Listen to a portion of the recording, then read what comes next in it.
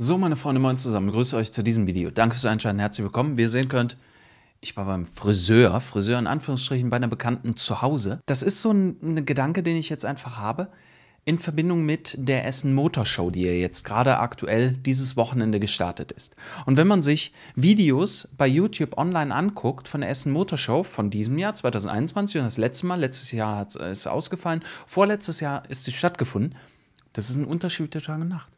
Die ganze Branche ist am Arsch, auf Deutsch gesagt. Es kommt keiner mehr dahin. Keiner hat Lust, da mit dem Fetzen im Gesicht rumzulaufen.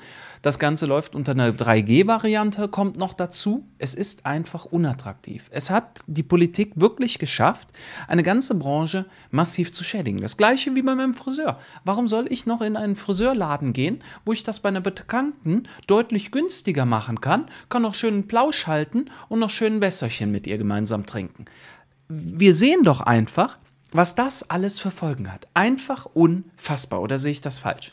Als weiteres, bevor wir auf ein paar Nachrichten eingehen, hier als ganz wichtige Info, in der Telegram-Gruppe habe ich es auch gepostet, bezüglich meinem Verhältnis mit unserem geliebten Gesundheitsminister Jens Spahn.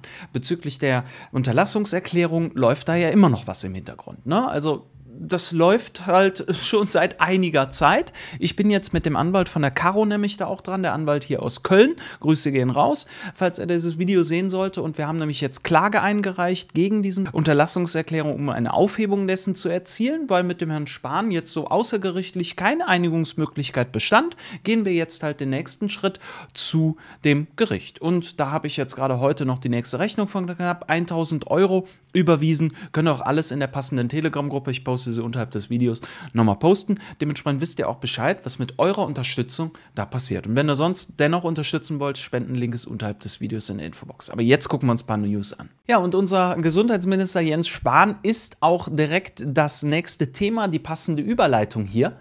Alle leiden unter Umgepunkt, Punkt, Punkt. Spahn 2G, das ganze Jahr 2022 denkbar. Leute, das kannst du dir nicht mehr vorstellen, was hier passiert, was hier abgeht. Also diese Entwicklung wird immer perfider, immer schlimmer, was hier geäußert wird.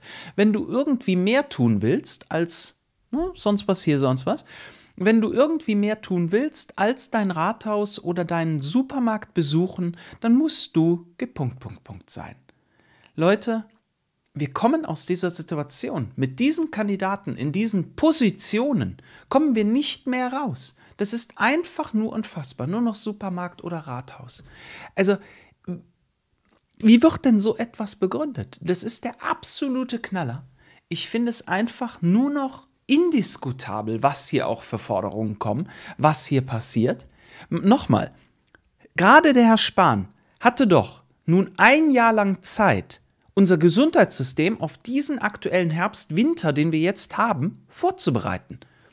Pflegekräfte mehr einstellen, Arbeitszeiten der Pflegekräfte deutlich verbessern, generell das Arbeitsverhältnis, also die Arbeitsbedingungen für die Pflegekräfte deutlich verbessern.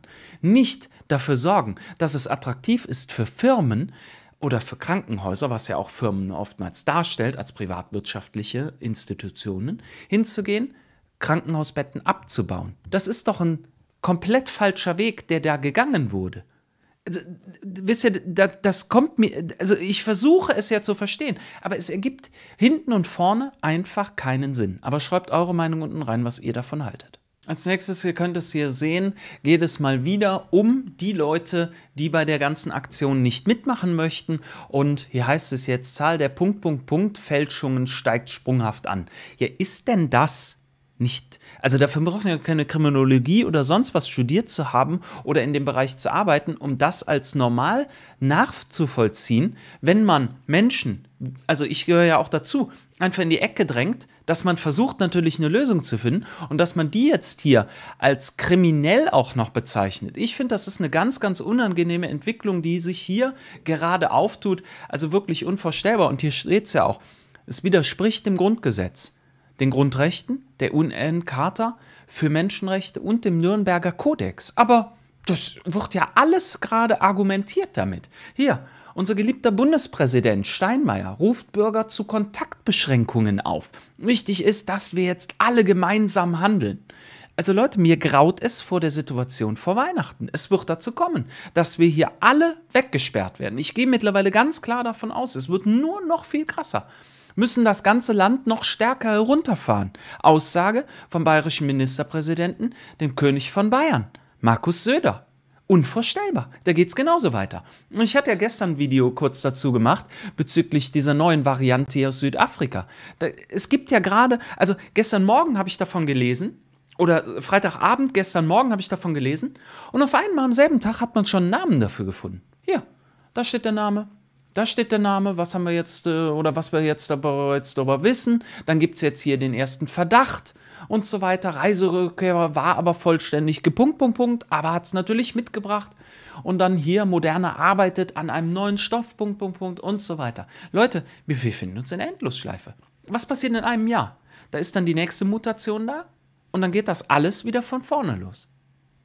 Wir, wir werden uns nicht mehr daraus rausbefreien können. Das wird so nicht funktionieren. Auch nicht mit 1G, 2G, 3G oder sonst was G. Ja, als nächstes, und ich hatte heute Morgen bereits im Olli Reddit-Kanal drüben ein Video dazu gemacht, das ist ein ordentlichen Shitstorm. Mittlerweile hat sich das Ganze auch nochmal ein bisschen weiter bewegt, also ist eigentlich nur noch schlimmer geworden.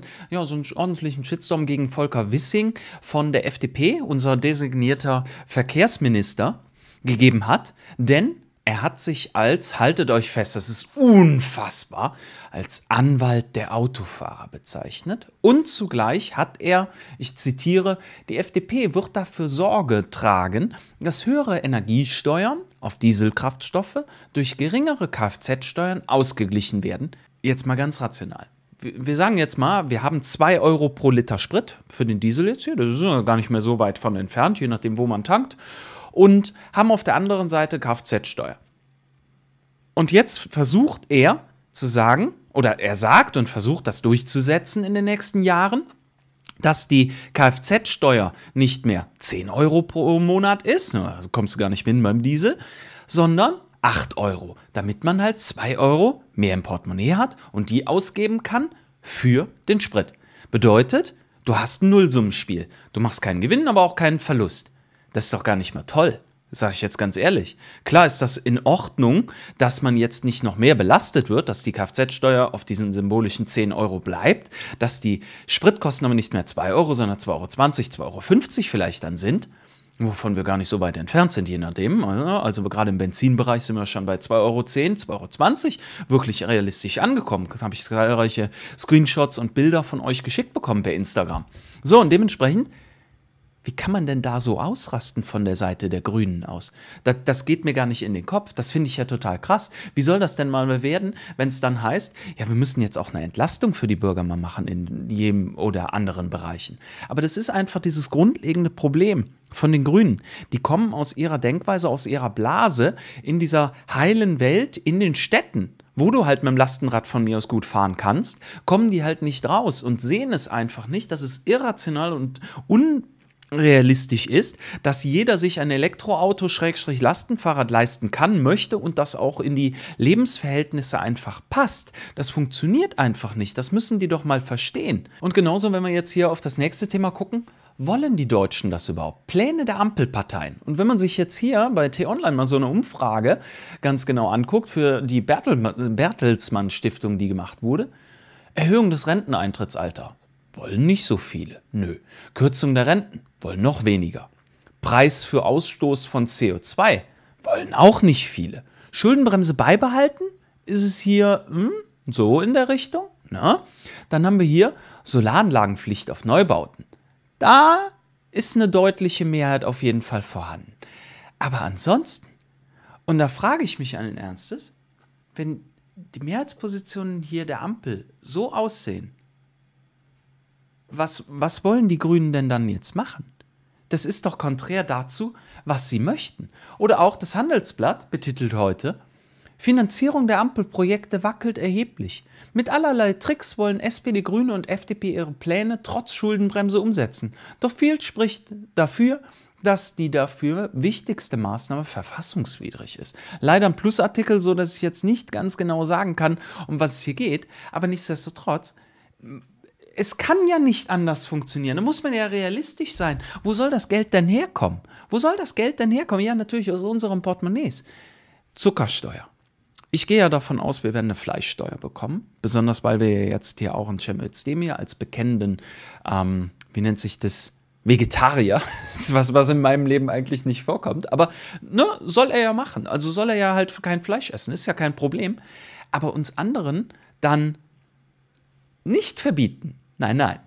Aber das so teuer zu machen, dass du es dir nicht mehr leisten kannst und möchtest. Das gleiche Prinzip wie beim Auto. Und deswegen stößt es den Grünen zu äh, dem Volker Wissing hier zurück, so auf, dass er nämlich diese Kompensation machen möchte über die Kfz-Steuer. Das kannst du dir nicht mehr ausdenken.